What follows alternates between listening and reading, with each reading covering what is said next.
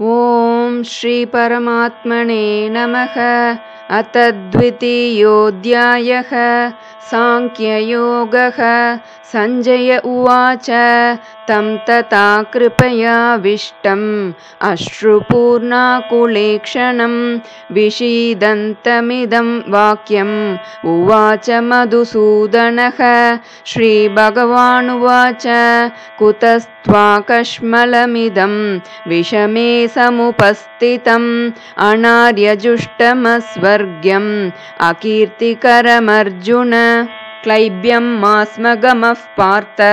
नैतत्त्वय्युपपद्यते क्षुद्रं हृदयदौर्बल्यं त्यक्त्वोत्तिष्ठ परन्तप। अर्जुन उवाच कथं भीष्ममहं सङ्ख्ये द्रोणञ्च मधुसूदन इषुभिः प्रतियोत्स्यामि पूजार्हावरिसूदन गुरो न हत्वा हि महानुभावान् श्रेयो भोक्तुं वैक्ष्यमपीह लोके हत्वार्थकामांसु गुरूनिहैव भुञ्जीय भोगान् रुदिरप्रदिग्धान् न चैतद्विद्मः कतरन्नो गरीयो यद्वा जयेम यदि वा नो जयेयुः। यानेव हत्वा न जिजीविषामः तेव स्थिताः प्रमुखे दार्तराष्ट्राः कार्पण्यदोषोपहतस्वभावः पृच्छामि त्वां धर्मसम्मूढचेताः यच्छ्रेयस्यान्निश्चितं ब्रूहि तन्मे शिष्यस्तेऽहं शादि मां त्वां प्रपन्नं न हि प्रपश्यामि ममापनुद्यात् यच्चोकमुच्चोषणमिन्द्रियाणाम् अवाप्य भूमावसपत्नमृद्धं राज्यं सुराणामपि चाधिपत्यम् सञ्जय उवाच एवमुक्त्वा हृषीकेशं गुडाकेशः परन्तप न योत्स्य इति गोविन्दम् उक्त्वा तूष्णीं बभूवः तमुवाच हृषीकेशः प्रहसन्निव भारत सेनयोरुभयोर्मध्ये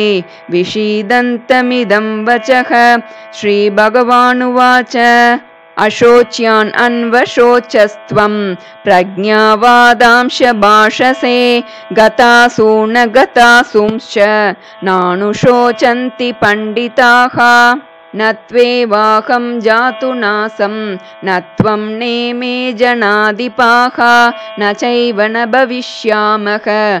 सर्वे वयमतः परं देहिनोऽस्मिन् यथा देहे। कौमारं यौवनं जरा तथा देहान्तरप्राप्तिः। धीरस्तत्र न मुह्यति मात्रा स्पर्शास्तु कौन्तेय। शीतोष्णसुखदुःखदाः आगमापायिनो नित्यास्तां स्थितिक्षस्व भारत। यं हि न व्यतयन्त्येते पुरुषं पुरुषर्षभ। समदुःखसुखं धीरं सोमृतत्वाय कल्पते। नासतो विद्यते भावो नाभावो विद्यते सतः। उभयोरपि दृष्टोऽन्तः त्वनयोस्तत्त्वदर्शिभिः अविनाशि तु तद्विद्धि येन सर्वमिदं ततं विनाशमव्ययस्यास्य न कश्चित् कर्तुमर्हति अन्तवन्त इमे देहा नित्यस्त्योक्ता शरीरिणः अनाशिनो प्रमेयस्य तस्माद्युध्यस्व भारत ययेनं वेति हन्तारं यश्चैनं मन्यते कथम् उभौ तौ न विजानीतो नायं हन्ति न हन्यते।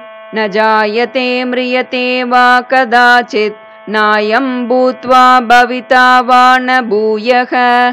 अजो नित्यशाश्वतोऽयं पुराणो न हन्यते हन्यमाने शरीरे वेदाविनाशिनं नित्यं ययेनमजमव्ययम् कथं स पुरुषः पार्थ कङ्गातयति हन्तिकं वासांसि जीर्णानि यथा विहाय नवानि गृह्णाति नरोपराणि तथा शरीराणि विहाय जीर्णान् अन्यानि संयाति नवानि देहि।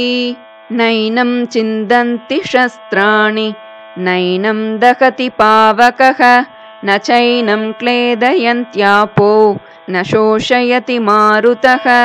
अच्छेद्योऽयमदाह्योऽयम् अक्लेद्यो शोष्य एव च नित्यः सर्वगतस्ताणुः।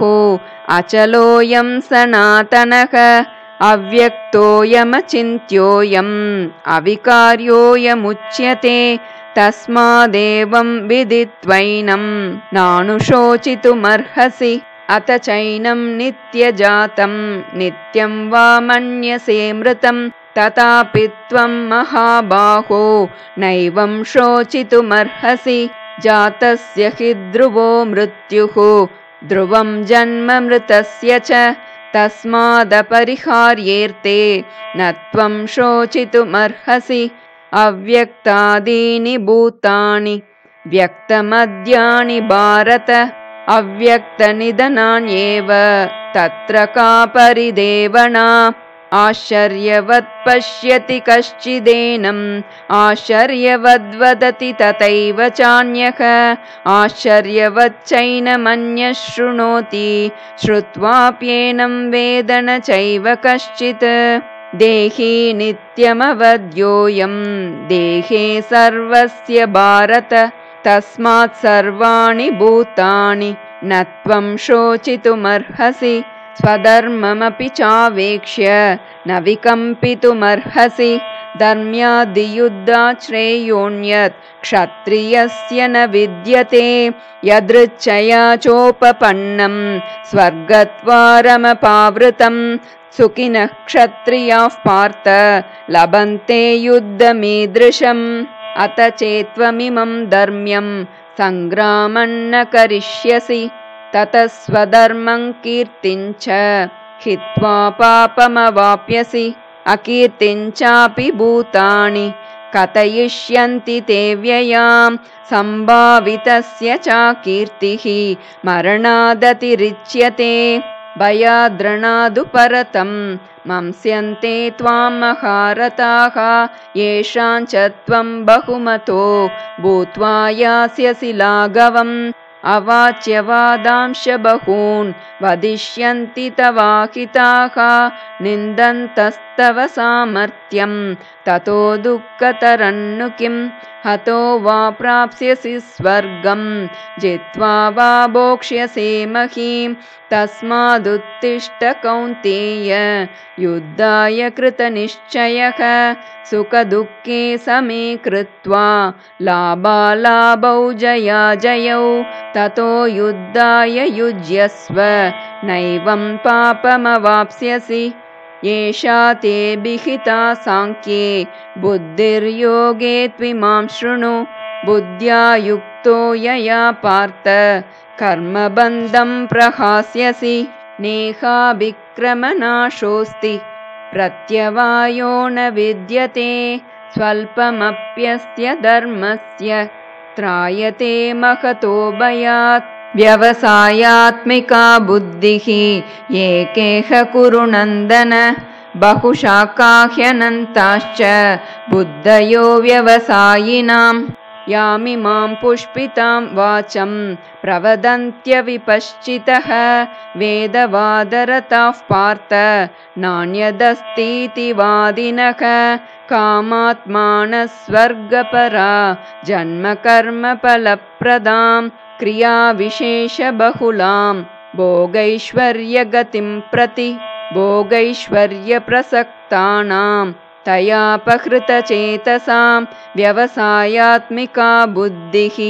समादौ न विधीयते त्रैगुण्यविषया वेदा। निस्त्रैगुण्यो भवार्जुन निर्द्वन्द्वो नित्यसत्त्वस्तो निर्योगक्षेम आत्मवान् यावानर्थ उदपाने सर्वतः सम्प्लुतोदके तावान् सर्वेषु वेदेषु ब्राह्मणस्य विजानतः कर्मण्येवाधिकारस्ते मा फलेषु कदाचन मा कर्मफलहेतुर्भुः मा ते सङ्गोस्त्वकर्मणि योगस्थः कुरु कर्माणि।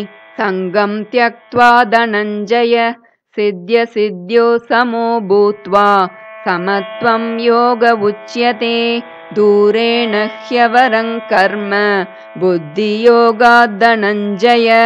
बुद्धौ शरणमन्विच्छ कृपणाः फलहेतवः बुद्धियुक्तो जहातीह। उभे सुकृतदुष्कृते तस्माद्योगाय युज्यस्व। योगः कर्मसु कौशलं कर्मजं बुद्धियुक्ता हि फलं त्यक्त्वा मनीषिणः जन्मबन्धविनिर्मुक्ताः। पदं गच्छन्त्यनामयं यदा ते मोहकलिलं बुद्धिर्व्यतितरिष्यति तदा गन्तासि निर्वेदं श्रोतव्यस्य श्रुतस्य च श्रुतिविप्रतिपन्ना ते यदा स्थास्यति निश्चला समादावचला बुद्धिः तदा योगमवाप्स्यसि। अर्जुन उवाच स्थितप्रज्ञस्य का भाषा? समाधिस्तस्य केशव स्थितधिः किं प्रभाषेत? किमासीत व्रजेत किं? श्रीभगवानुवाच। प्रजहाति यदा कामान् सर्वान् पार्थमनोगतान् आत्मन्येवात्मना तुष्टः। स्थितप्रज्ञस्तदोच्यते दुःखेष्वनुद्विग्नमनाः सुखेषु विगतस्पृहः वीतरागभयक्रोधः स्थितधीर्मुनिरुच्यते। यः सर्वत्रानभिस्नेहः तत्तत्प्राप्य शुभाशुभं नाभिनन्दति न द्वेष्टि। तस्य प्रज्ञा प्रतिष्ठिता यदा संहरते चायं। कूर्माङ्गाणीव सर्वशः इन्द्रियाणीन्द्रियार्थेभ्यः तस्य प्रज्ञा प्रतिष्ठिता विषया विनिवर्तन्ते। निराहारस्य देहिनः रसवर्जं रसोऽप्यस्य परं दृष्ट्वा निवर्तते। यततो ह्यपि कौन्तेय पुरुषस्य विपश्चितः इन्द्रियाणि प्रमातेनि हरन्ति प्रसभं मनः।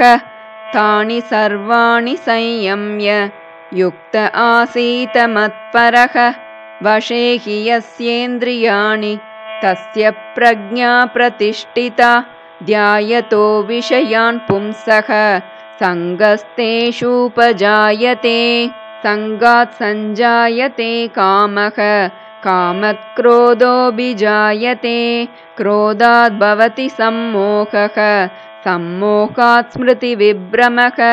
स्मृतिभ्रंशात् बुद्धिनाशो। बुद्धिनाशात् प्रणश्यति। रागद्वेषवियुक्तैस्तु। विषयाणीन्द्रियैश्चरन्। आत्मवश्यैर्विधेयात्मा प्रसादमधिगच्छति। प्रसादे सर्वदुःखानां हानिरस्योपजायते। प्रसन्नचेतसो ह्याशु बुद्धिः पर्यवतिष्ठते। नास्ति बुद्धिरयुक्तस्य न चायुक्तस्य भावना न चाभावयतः शान्तिः। अशान्तस्य कुतः सुखम्? इन्द्रियाणां हि चरतां यन्मनोनुविधीयते तदस्य हरति प्रज्ञां वायुर्नावमिवाम्बसि तस्माद्यस्य महाबाहो निगृहीतानि सर्वशः इन्द्रियाणीन्द्रियार्थेभ्यः तस्य प्रज्ञा प्रतिष्ठिता यानिशा सर्वभूतानां तस्यां जागर्ति संयमी यस्यां जाग्रति भूतानि। सा निशा पश्यतो मुनेः आपूर्यमाणम् अचलप्रतिष्ठं समुद्रमापः प्रविशन्ति यद्वत् तद्वत् कामायं प्रविशन्ति सर्वे स शान्तिमाप्नोति न कामकामी। विहाय कामान्यः सर्वान् पुमां शरति निःस्पृहः निर्ममो निरहङ्कारः स शान्तिमधिगच्छति। एषा ब्राह्मी स्थितिः पार्थ नैनां प्राप्य विमुह्यति स्थित्वा स्यामन्तकालेऽपि ब्रह्मनिर्वाणमृच्छति। ॐ तत्सदिति श्रीमद्भगवद्गीतासु उपनिषत्सु ब्रह्मविद्यायां योगशास्त्रे श्रीकृष्णार्जुनसंवादे साङ्ख्ययोगो नाम द्वितीयोऽध्यायः